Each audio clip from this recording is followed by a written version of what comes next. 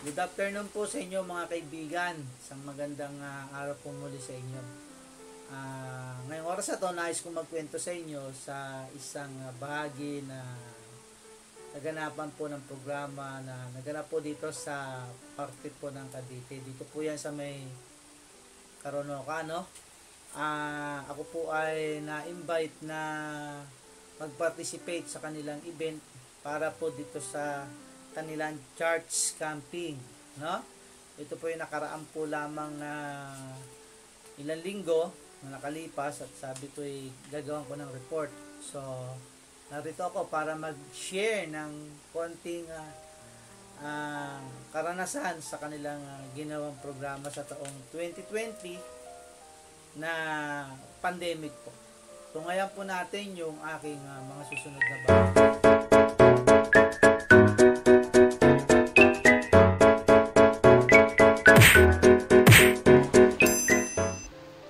Okay?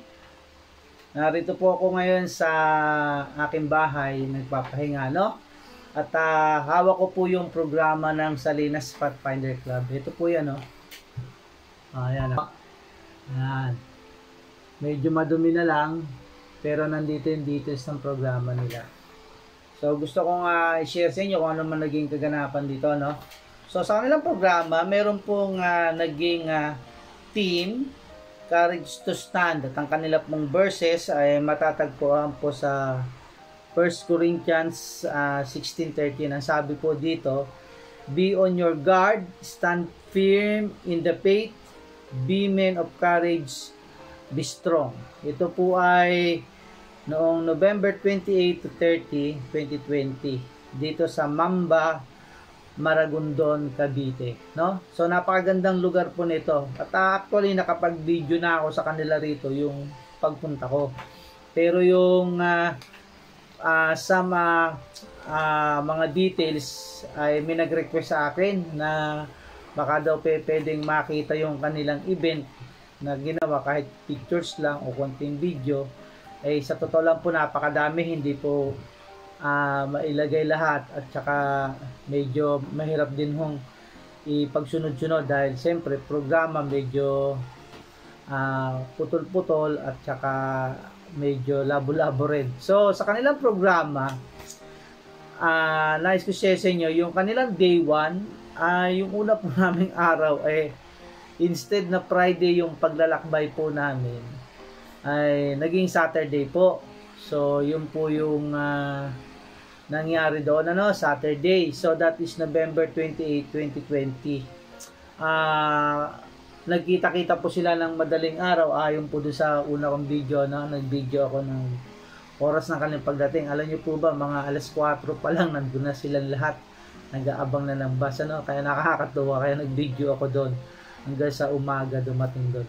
So kailangan nilang makarating doon sa lugar ng Mamba doon sa bundok ng oras ng bago mag alas 10. At ah, kinaya naman po, dumating sila mga alas 9 kasi maaga nga pong ah, umalis ano. At ah, doon ay nagkaroon ng ah, mga panimulang programa ah, pag-welcome po sa mga kapatiran na iba't ibang lugar na nakisimpatya doon upang ah, matuloy po yung programa no at ang dami pong kabataan ng pumunta doon.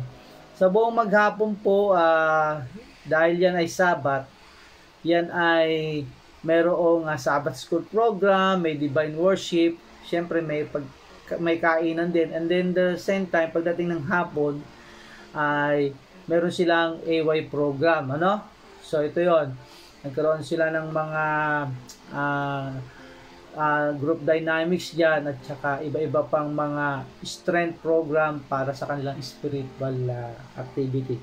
So dito po sa araw po ng Sabat na to ay ang kanilang pinaka speaker po dito ng araw ng Sabado nito eh, wala pong iba kundi si Master Guy Jesse uh, Uyanggurin ano actually natutuwa ako na siya yung ah, speaker ng araw ng Sabat at masaya talaga maraming ah, talagang biroan dyan and then pagdating po ng hapon ng programa doon po sa mga youth program po. Pinangunahan po ito siyempre ng mga master guide na po, ano?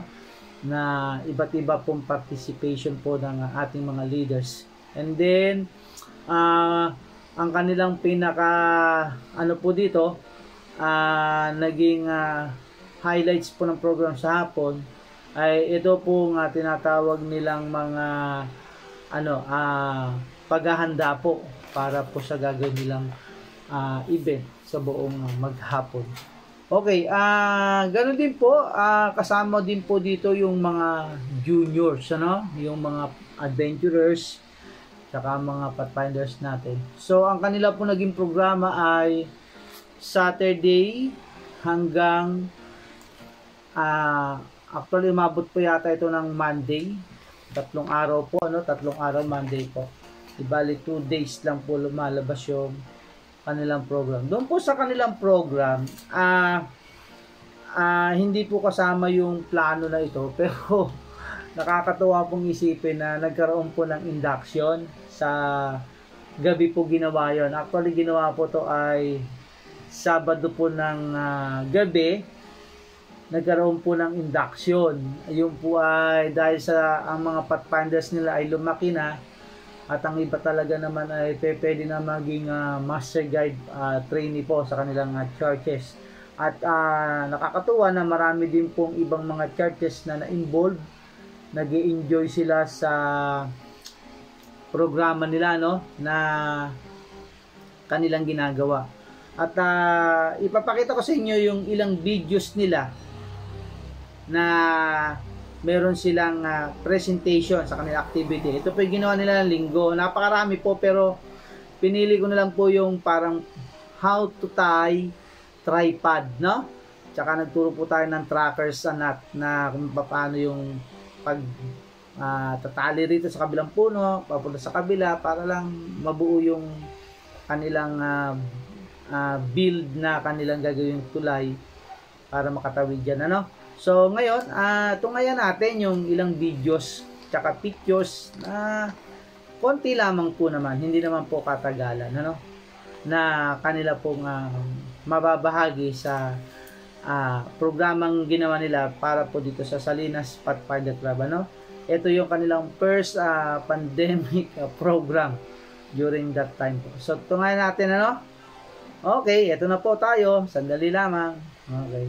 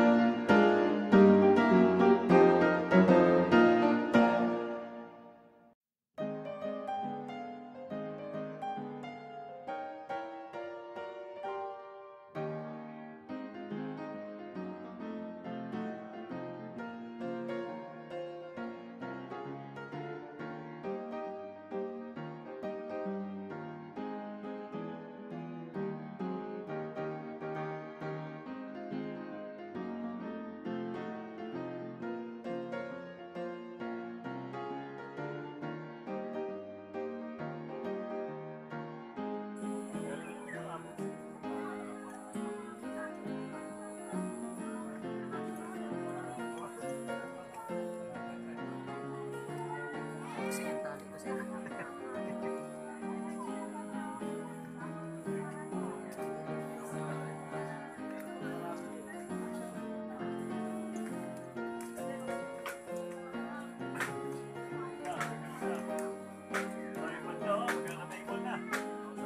Saya namin Oy. dito, bansa. Sir, pala na.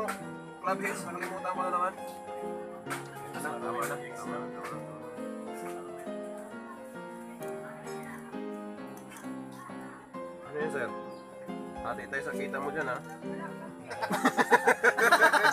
Sumosyo agad.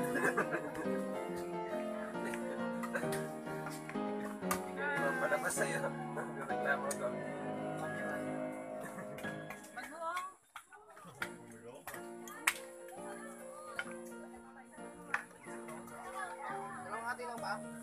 Sir, isa lang ba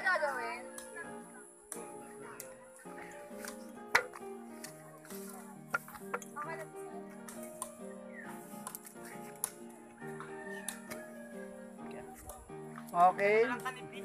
Ito po ang mga kabataan, mga campers gumagawa ng kanilang activity. So kasama sa activity mamaya, yung una kong tinuro, yung trackers.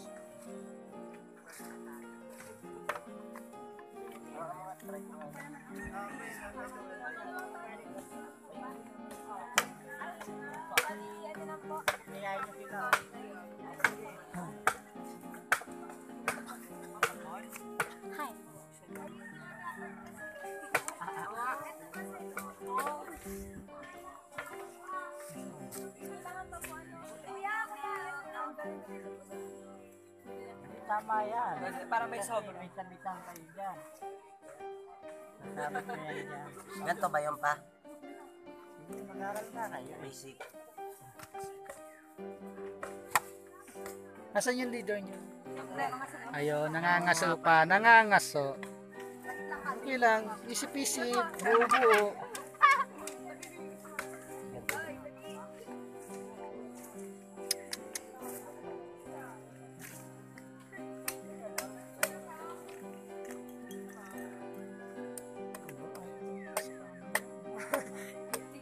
Okay lang yan para sa ano, isa. Ito, meron na tatlo nga. Okay.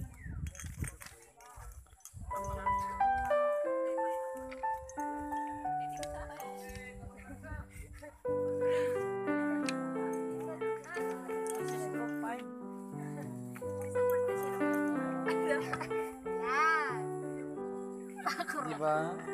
Kakaiba ngayon kayo. Nag-advance dati. Pa ikot-ikot lang ngayon.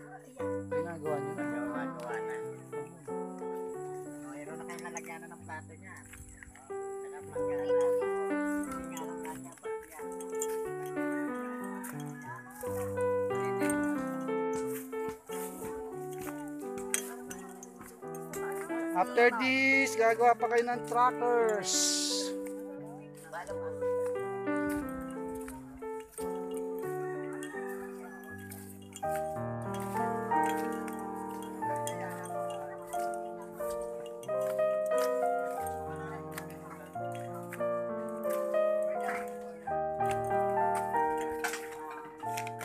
Anong kaganapan meron dito? Pagtatali. Ah, ito. Pag meron sa camera, makikita rin naman to sa church niyo. Ano na, Aaron? Wow. Nasaan ba ni... Dami ka ba yan? Ah, tingin kayo, tingin, tingin, tingin. Group nyo, group. Tingin dito. Maya. Hmm. Tingin lang.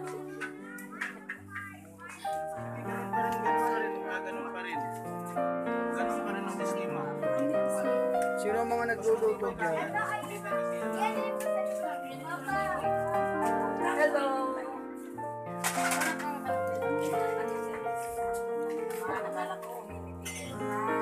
Ay, ini ito, sir.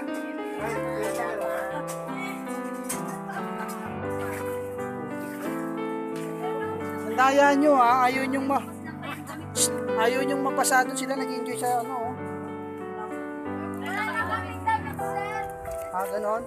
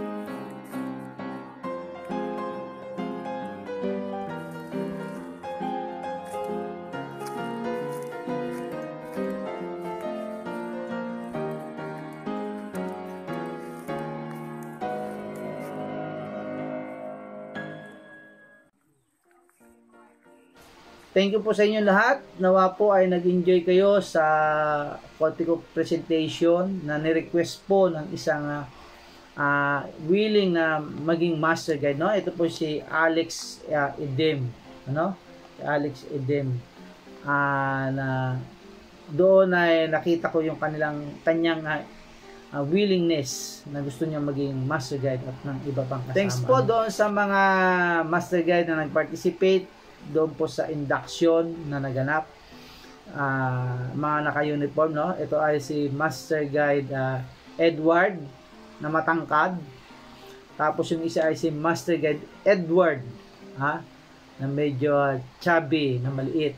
At ang kanyang kapatid na si Master Guide Gemma, no? Actually, apat lang kami nakasuot ng ah, ah, uniform doon. Pero yung iba naman po ay naka-neckerchief po. At ah, makikita ninyo na talagang ah, meron po naganap na magandang programa sa kanila dito po sa kanilang ah, charge camping. So, ah, bago po ako ah, tuluyang pong ah, magpaalam po ay siyempre pasalamat tayo sa leaders natin ano na siya pong Iglesia. pinaka club director ng Salinas Pathfinder Club na nag-invite sa akin para po ah, makarating diyan sa kanilang activity. Actually sinundo po ako niyan eh at hinatid din po ako kaya halos lahat libre ano. So thank you very much Master Guide ah, Kenneth Sarin sa iyong ah, ginawang ah, bahagi na ako ay maka-join dito sa programa ninyo. Okay, ito po ang inyong lingkod para po sa ating ah, Pathfinder Club report from You've Got Club News. See you.